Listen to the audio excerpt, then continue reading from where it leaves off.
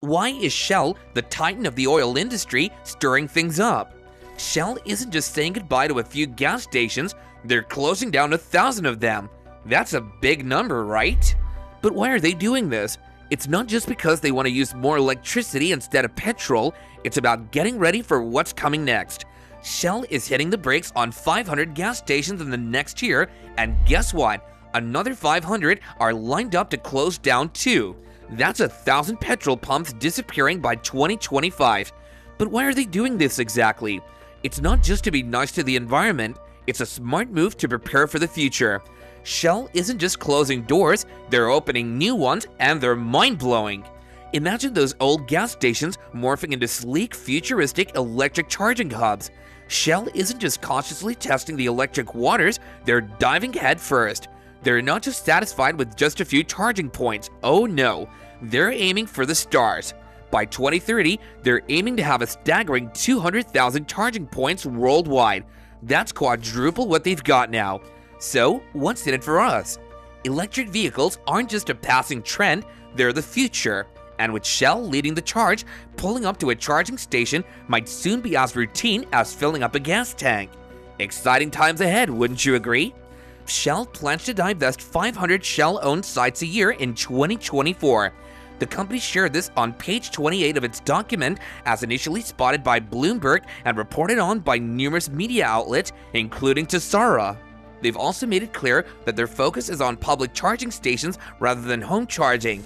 Essentially, they're looking to transform themselves into what they are today, but with electricity.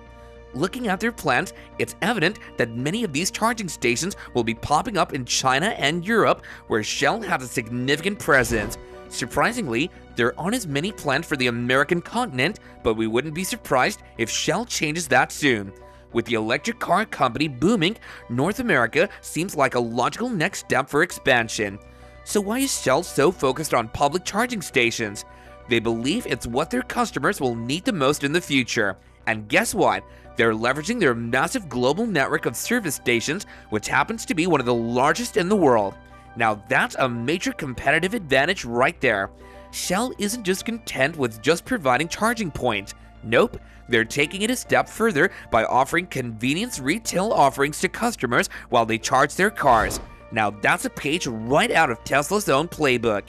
So why is Shell going all in on public charging stations? Well, it's simple really. They see the writing on the wall. Electric vehicles are the future. And to stay ahead of the curve, they're not just adapting, they're innovating. By offering a seamless charging experience coupled with convenient retail options, they're aiming to make the transition to electric vehicles as smooth as possible for their customers. And let's not forget about the convenience factor. Imagine pulling up to a Shell charging station, plugging in your car, and grabbing a coffee or a snack while you wait.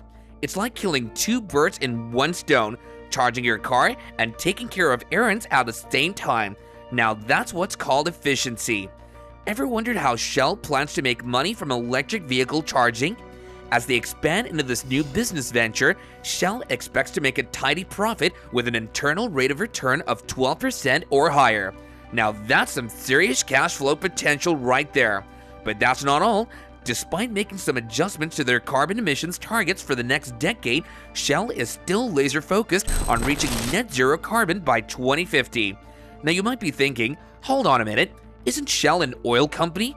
How are they going to achieve net zero carbon emissions? Well, that's a valid question. But here's the thing Shell isn't just sitting on their hands, they're rolling up their sleeves and getting to work.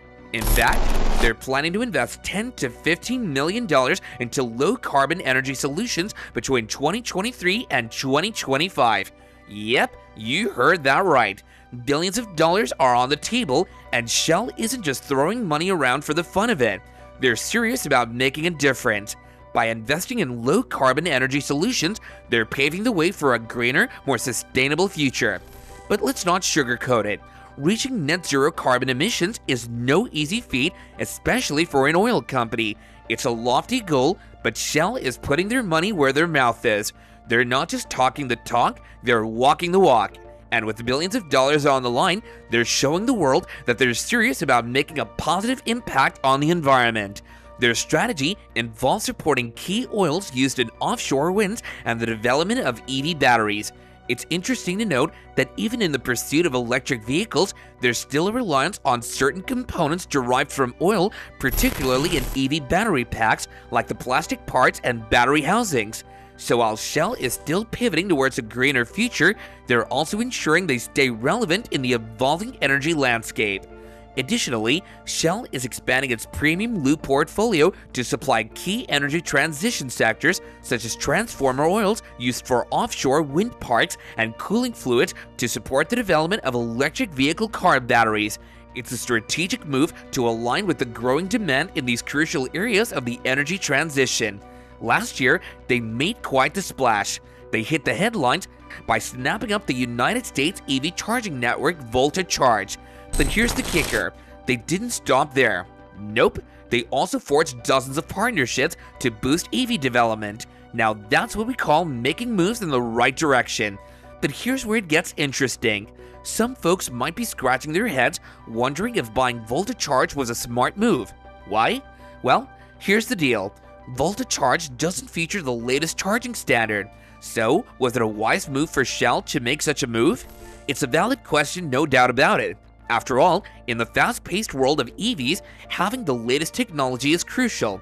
But here's the thing Shell isn't just playing a short term game here, they're playing the long one. And sometimes that means making strategic moves that might not make sense at first glance. So while some might question Shell's decision to acquire Volta Charge, it's important to look at the bigger picture. Sure, they might not have the latest charging standard now, but who's to say they won't adapt and evolve in the future?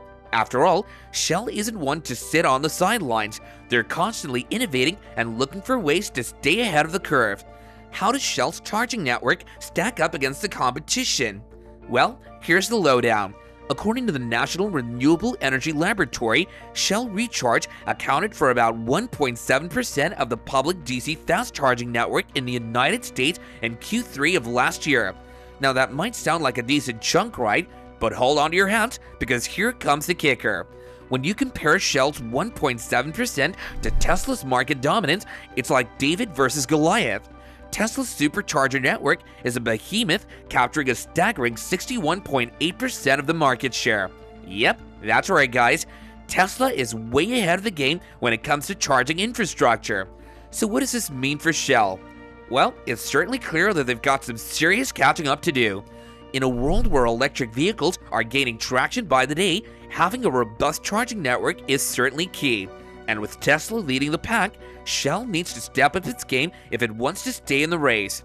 In the world of electric vehicles, things are changing fast, especially when it comes to charging standards.